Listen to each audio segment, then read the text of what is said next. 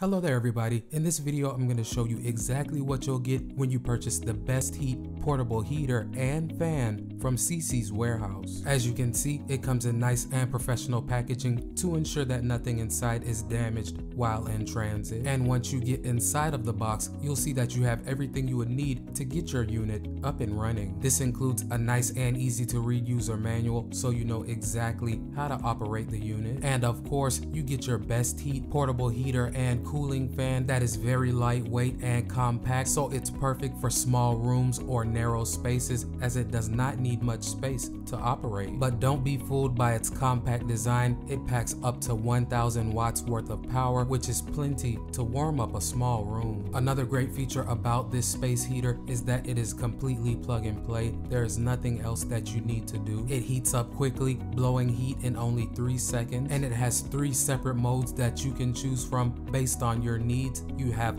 high heat, which is 1000 watts. If that's a little bit too much, you also have low heat, which is gonna emit 650 watts. And if you don't need heat at all and you just need a little bit of cooling, it does have a fan like I mentioned earlier that will blow cool air. And you don't have to worry about it tipping over. It does have tip over protection, so if this happens, it will shut off. Another awesome feature about this space heater is that it will oscillate. If you'd like it to, you can set this feature feature to be on or off at your convenience. It also operates very quietly. Let's take a listen.